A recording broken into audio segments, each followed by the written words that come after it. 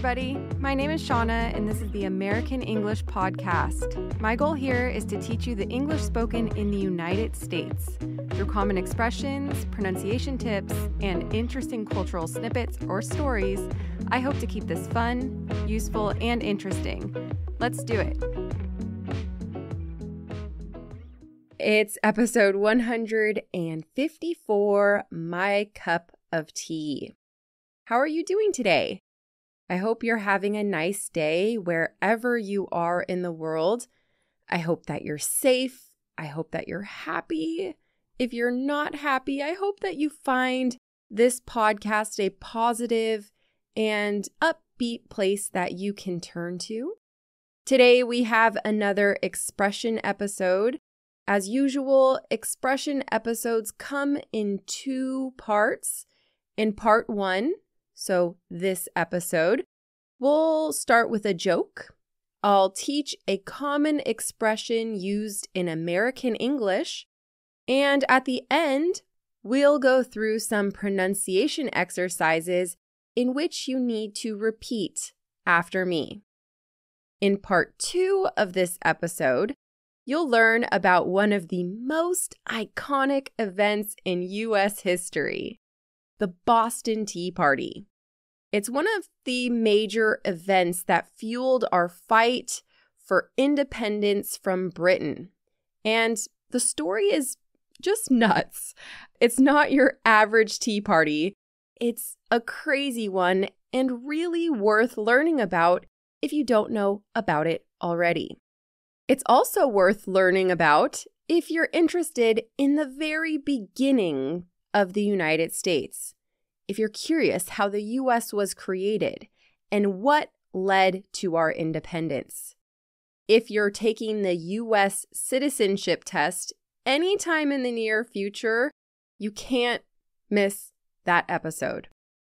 On that note, I've created a web page on AmericanEnglishPodcast.com for those of you who want to prepare for the US citizenship test. I have a bunch of different episodes that cover the material you may be asked about. And in my opinion, it's better than memorizing information.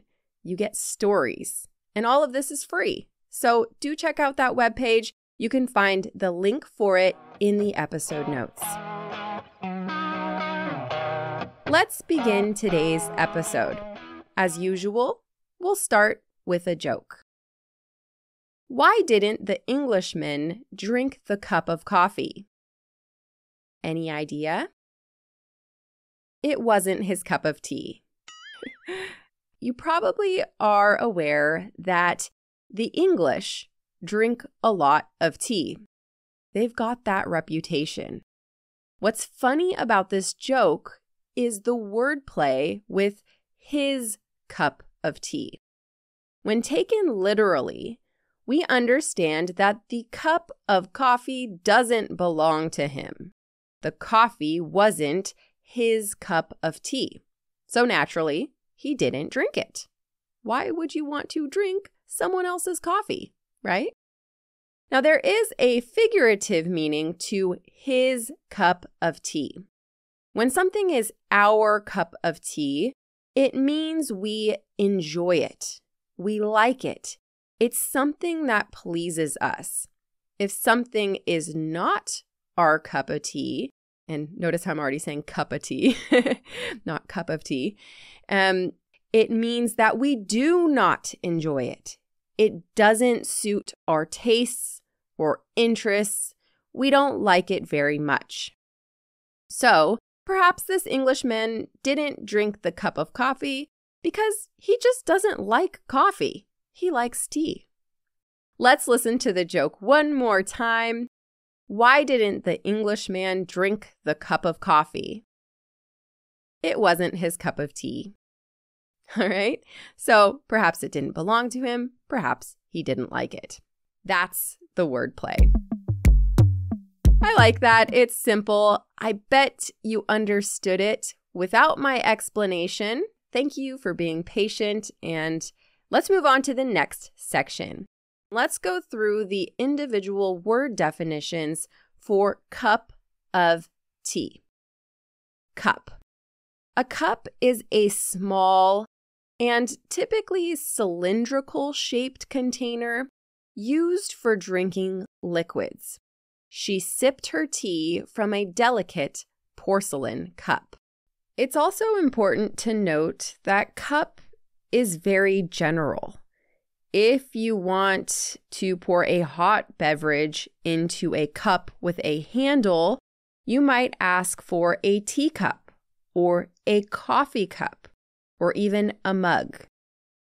Of of expresses the relationship between a part and a whole. It indicates belonging or association. A slice of cake was left on the plate. Often you can't hear of, we just say uh, uh, a, a, slice a, a slice of cake, a slice of cake, a cup of tea, a cup of tea. Yeah, note that because it does help improve listening comprehension if you know that of is often reduced to simply a. And then tea. Tea is a hot drink made by infusing dried and crushed leaves in boiling water. It's typically served without milk, occasionally with it, occasionally with honey. Popular tea types include chai, Earl Grey, English breakfast tea, peppermint. There are just so many options. In the morning, she prefers tea to coffee. So she likes tea more. So, where does this expression, cup of tea, come from? In British culture, tea has played a significant part of daily life since the early 20th century. It's believed that the expression emerged around 1920 and stems from the literal act of drinking tea. As with most food and drink, people have their own tea preferences. Some like certain strengths, certain levels of sweetness, or different varieties. People have certain preferences. Now, over time, people started using my cup of tea, his cup of tea, their cup of tea outside of the world of tea just to indicate one's personal preference. Teaching English is my cup of tea. It's what I like. Cleaning the dishes is not my cup of tea. It's not what I like. So here we are. Today, you can say that something is your cup of tea if you like it. And I want to stress that you can use it with anything that can be enjoyed music, art, food, activities. When something is your cup of tea, it's your jam, it suits you, it's to your liking, it's up your alley. So, those are some synonyms. And when something is not your cup of tea, it's not your jam, it doesn't suit you, it's not to your liking, it's not your thing, and it's not up your alley. Now, we'll go through a few examples just so you can hear how it would be used in everyday conversation. Example number one Imagine your friends are arguing about what to watch for your weekly movie night. One friend suggests Twilight, which is a teenage drama about vampires. Your other friend suggests The Shining, which is a classic psychological horror film starring Jack Nicholson. When your friend mentions The Shining, you respond, Now that's my cup of tea. In other words, that's what I'm interested in. The Shining is my jam. It's more suited to my interest than Twilight. It's what I like, it's what I prefer. It's my cup of tea. Example number two. Back when I lived in New York and Berlin, I used to go out to clubs with friends. And it took a long time to realize that clubbing is not really my cup of tea. Or perhaps it just took a long time to admit it. Sometimes it was okay if the music was good and the group of friends was fun, but for the most part, my expectations far exceeded reality. I remember thinking I'd rather be out for dinner, chatting over a glass of wine. As much as I want to like clubbing, it's not my cup of tea. Example number three Imagine that you come to the United States as an exchange student, and your new host mother is excited to have you try local specialties. Since she's Hawaiian, one of those specialties is spam. Spam is canned, pre cooked meat, usually a mix of pork shoulder and ham. While you're open minded when it comes to food, you truly think You'll throw up if you eat the spam. And that's okay. If she offers it to you, you can say, Thank you so much, but I'll pass. Spam isn't my cup of tea. To be honest, I really like this example because it illustrates something important. I feel like the negative form, not one's cup of tea, is more common than the affirmative because it's become a non offensive and very popular way to reject an offer.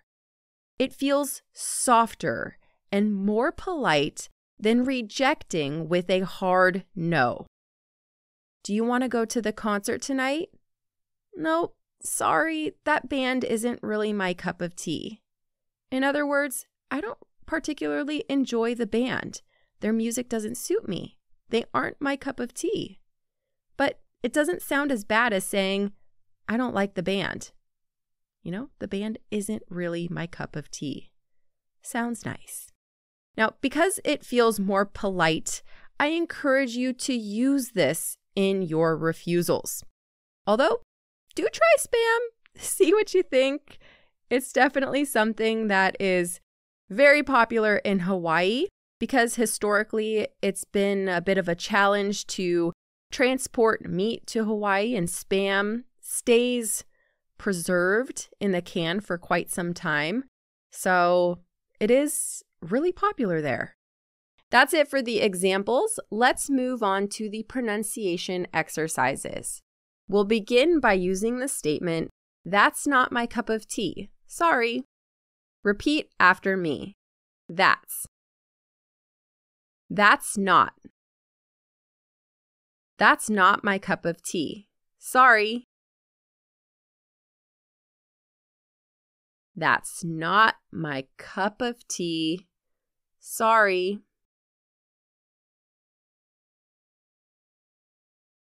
Let's go through the conjugation. I wasn't his cup of tea. You weren't his cup of tea. I wasn't his cup of tea. You weren't his cup of tea. He wasn't his cup of tea. She wasn't his cup of tea. It wasn't his cup of tea. We weren't his cup of tea. They weren't his cup of tea. I could either say cup of tea or cup of tea, cup of tea, of, of, of like a light, light F there. That just depends on the person and yeah, how quick they're speaking. Usually, if they're speaking very fast, usually it reduces to cuppa, cuppa.